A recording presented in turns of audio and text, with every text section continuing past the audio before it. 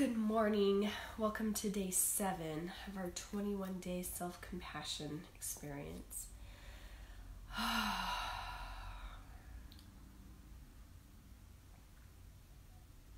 Take a nice deep breath.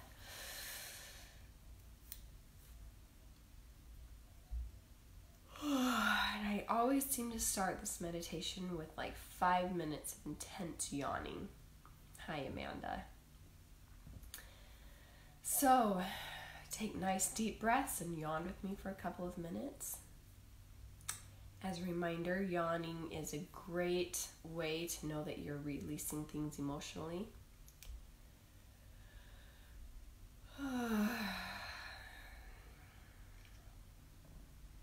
While you're breathing, bring awareness into your body, bring gratitude into your soul. You woke up this morning, you slept safe last night, you have a roof over your head and a little bit of food in your fridge. You have a fridge. You're watching this on the internet right now. Wiggle your toes and your shoulders. You have a body that works and a body that can communicate between you and spirit. Hmm. Go inward with your mind.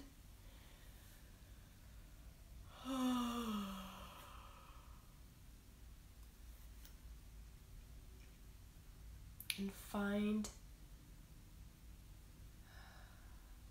find where your consciousness where your awareness wants to settle in your body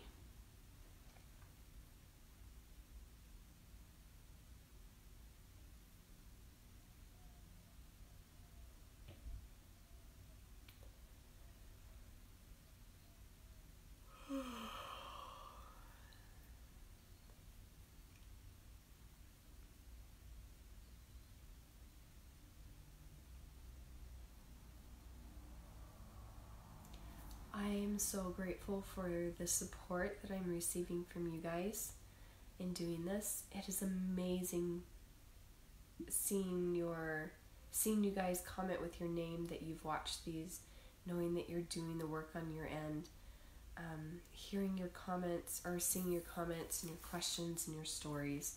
Like it is so cool. I would be doing this for myself, with or without um, an audience, but it is really just neat to be able to see a community forming out of this, you know? And knowing that we're making the world a safer place. Interestingly enough, by doing nothing, by sitting each day and feeling into our bodies and our thoughts and our emotions, experiencing self compassion, experiencing communication with God and the divine.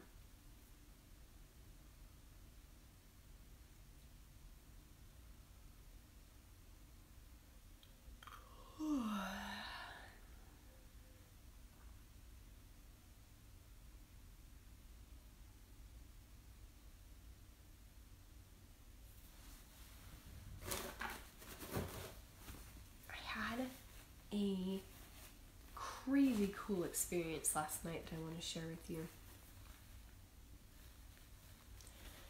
So, um, I was sitting with my husband last night and we were just talking about just like different about our day and just about different things. Nothing deep, nothing emotional, just talking and enjoying each other's time. And all of a sudden, like tears started leaking out of my eyes and my nose had that burning feeling you know you get when you're crying but i wasn't crying. There was nothing emotional going on. I just literally had tears like running down my cheeks. And i was like well this is interesting. And i thought it was because it was night and i had yawned a little bit but it was more my body was acting like I was emotional and I was crying, but emotionally, there was no emotion. I was like, this is odd. So, um, for a minute or two, I just finally, I just was wiping my eyes and thinking, this is weird. I don't know what's going on. And then I took a deep breath and just kind of asked, what is going on? And then I heard, felt, whatever, this impression, this voice say, oh, we're just releasing some generational stuff right now. This isn't you. This is just your body releasing some energy right now from your DNA. And I was like, fascinating. I wonder how many times that that's happened before that I haven't known what's going on. But, um, say yesterday, it was the day before yesterday in our meditation. If you are following and, and keeping up, um, I had an experience where some generational stuff did come up. I had an opportunity to release that. And it's just amazing. Oh, it's just amazing. Something was shifting in my body at that time last night where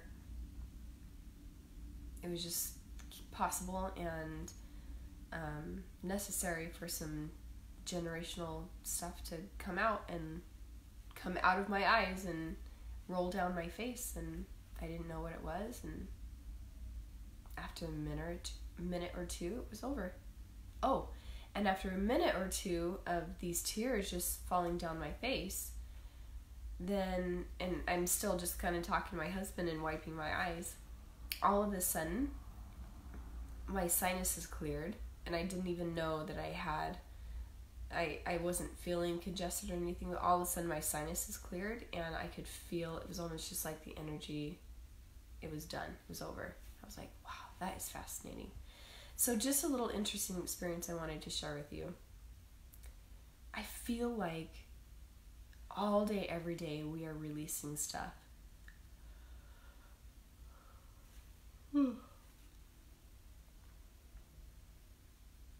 And it's just cool to be conscious of it, you know?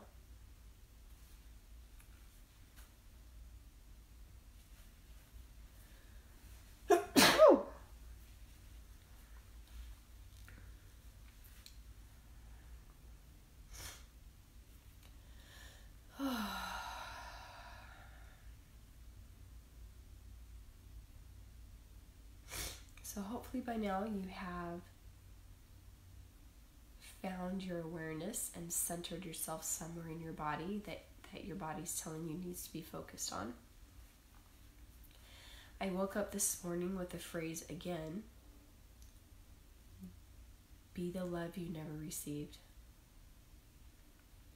And it feels right to focus in on that again. So, this is the first day of um, week number two. So, this is a 21 day meditation. This is the first day of week number two.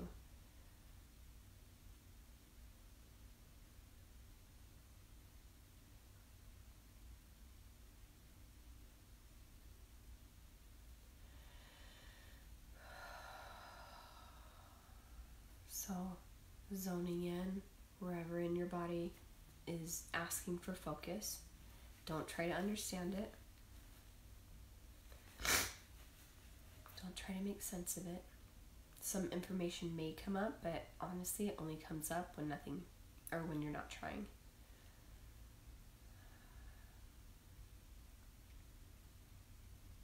I am the love that I never received. I am enough. I am enough. I do enough. I feel like enough. Everything I do and everything that happens around me is in perfect timing. Take a deep breath. it's in perfect synchronicity.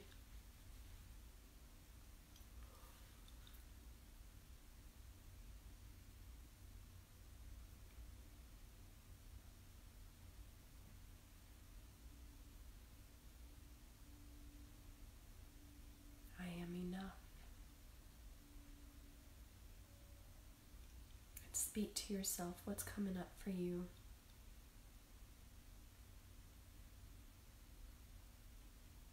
And can you be okay if nothing's coming up for you?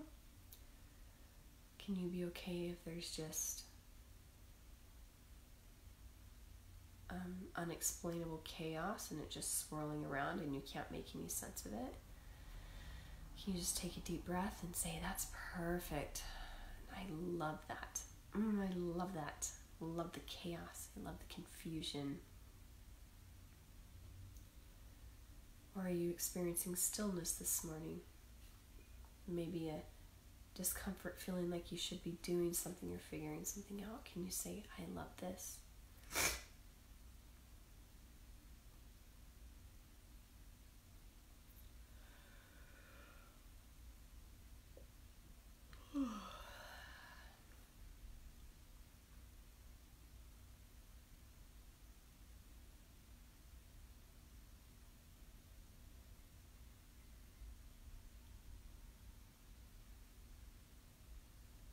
Hmm.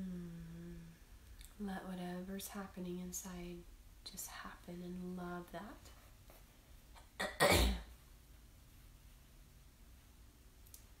love the one that has expectations or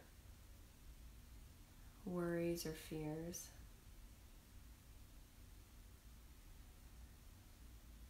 How much can you love yourself when you struggle?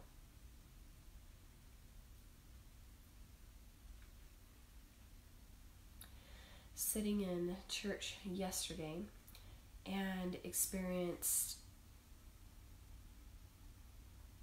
um, a conversation between uh, a group of us about how we can show other people that we love them and that we're there for them.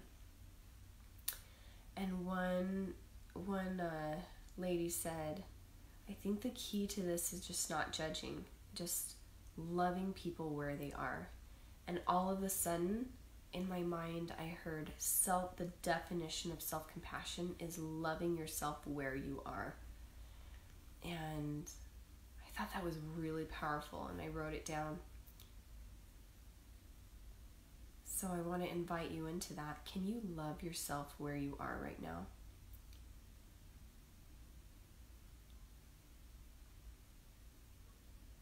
Can you love the you that struggles to get out of bed for physical or emotional reasons? And can you love the you that judges that person? Because that is just exactly where you are. Can you love the you who's so emotionally tired that she binge watches Netflix?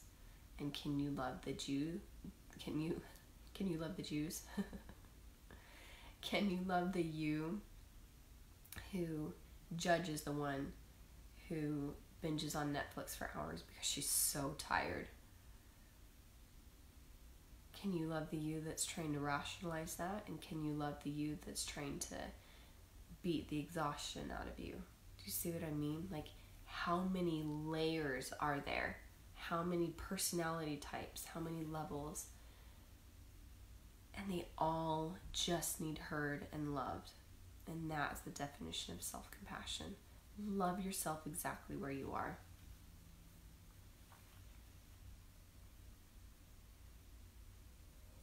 Did you cook a great dinner? Or is it cold cereal again tonight? Are you having an awesome mom day or are you deciding if maybe you should be on medication? Can you love yourself exactly where you are? Take a deep breath.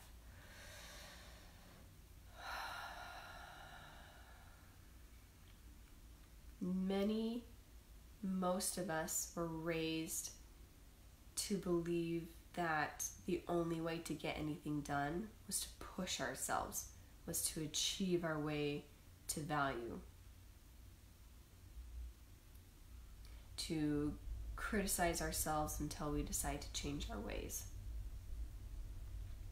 and I believe it was day number two in uh, in this self compassion experience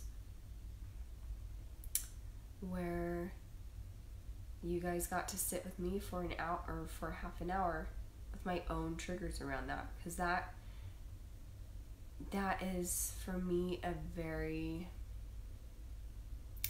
real thing feeling like it comes up for me often still sometimes that the only way um, that I'll ever change my my ways or whatever is to criticize myself into being good.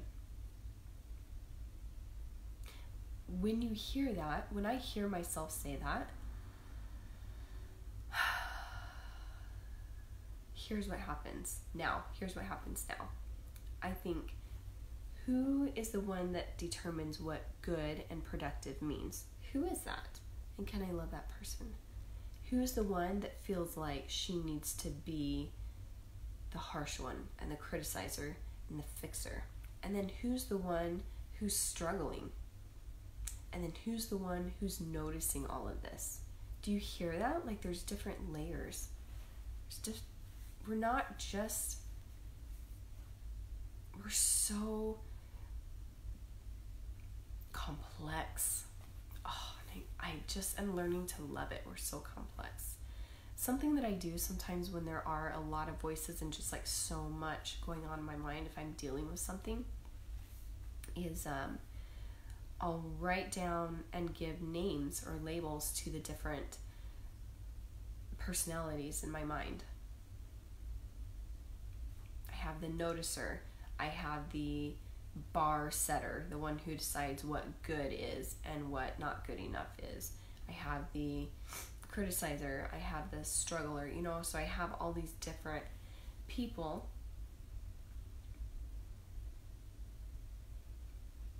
As different versions of myself. And then I focus on each of them and I hear their stories. I hear the one who says, well, good means this and this and this and the one that tries to rationalize that. And then I say, I hear you. I love you. Take a deep breath with me and just say to yourself, I hear you and I love you. I love you. I love you. And then I hear the one who struggles who says, I just, I try and I try and I try and I'm just not good enough. I say, I hear you. And I love you exactly where you are. And I hear the one that's like, nope, she doesn't deserve love. She's lazy and undisciplined and criticism, criticism, criticism. And I say, I love you.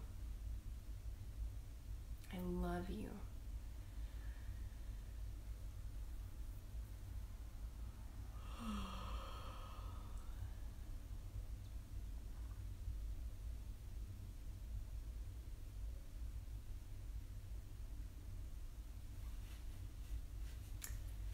So, right now, how many versions of yourself are you hearing? And they can be really hard to hear sometimes because they can say some really hurtful things. But what helps me is saying, like, who's talking? This isn't really me. And this isn't my higher self. This isn't God. Along those lines, I've gotten really clear about the God that I believe in. The God that I believe in doesn't call me lazy and undisciplined. The God that I believe in sees only worth and potential. So when I have gotten really clear with the God that I choose to believe in, it helps me differentiate between um, the voices that are not my highest.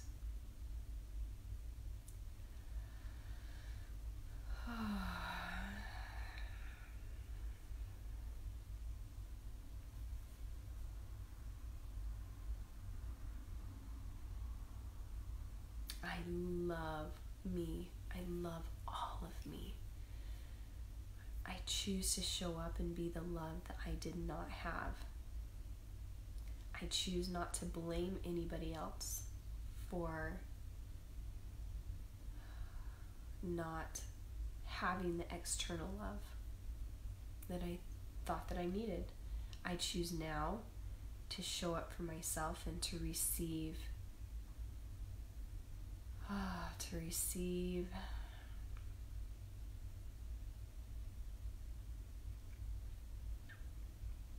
the perfection and wholeness that God is. I saw something once that says, No one can meet all your needs but God. And to me, that can only be true if I believe in a God who is perfect and I believe in a God who does not abandon. And I believe in a God who is all knowing and all loving.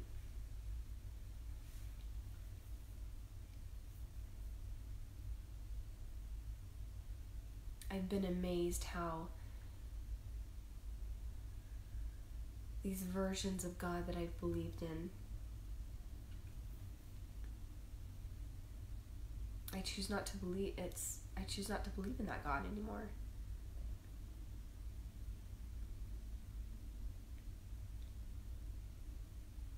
I believe in a God who doesn't judge me and I don't judge myself.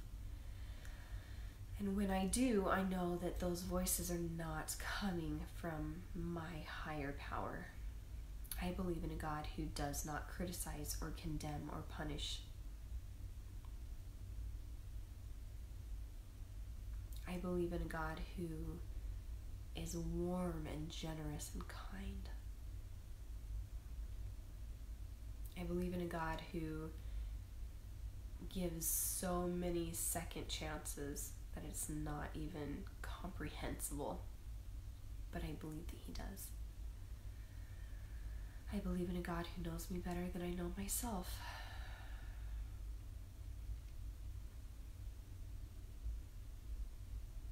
I love all of me. I believe in a God who loves all of me.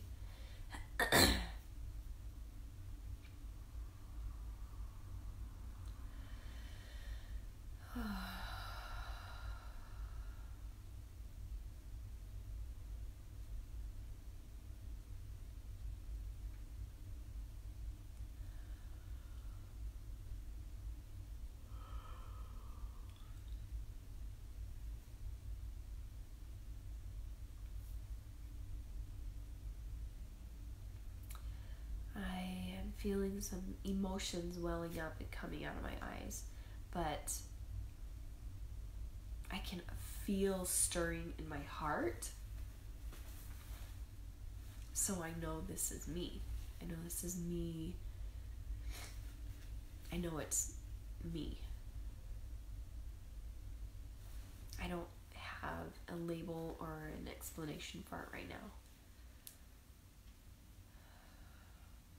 Feels good. I feel like I'm expanding.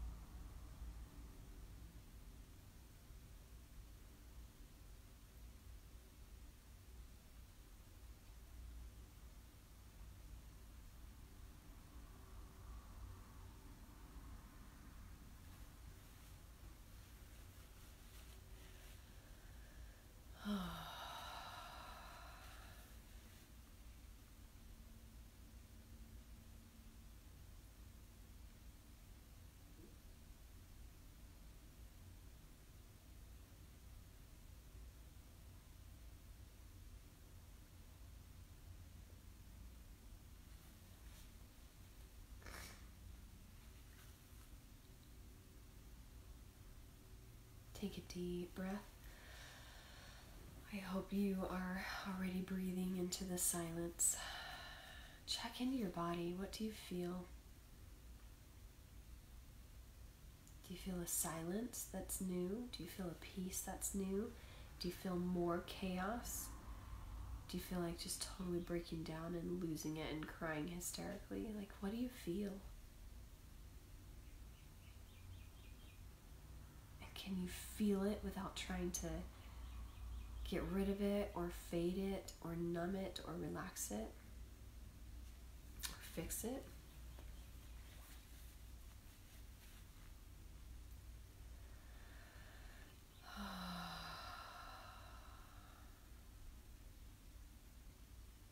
Today, I invite you to go throughout the day and just love yourself where you are.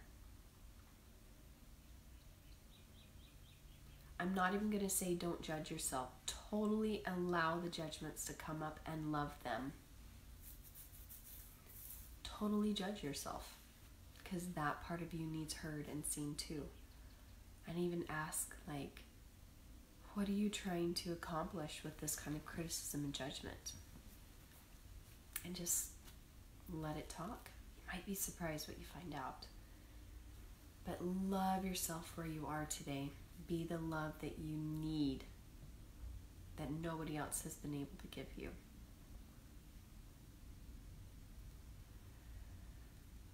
I want to offer and invite you September 2nd through, sorry, 20th through the 22nd I have booked a cabin in the mountains here in Arizona with space for 10 people for a three day, two night meditation retreat where we will be doing hours of meditation outside in the pines and we will also be doing deep, deep inner work. And it's absolutely the most amazing, sacred transformative work that we can do right now. I invite you to join me and reach out to me to get the links for the tickets. Um, all the food, all the lodging is going to be provided. It's just going to be, and it's going to, the focus is going to be self compassion. And I am just so, oh, I'm so inspired and so excited to see it happen I can already see it in my mind. So if that calls to you, reach out to me. Let's talk about getting you there. It feels so good. Thank you for joining me today. I invite you to just focus on loving yourself where you are today. Because no other work you can do right now is going to be more important than that. Thank you for showing up for yourself with me.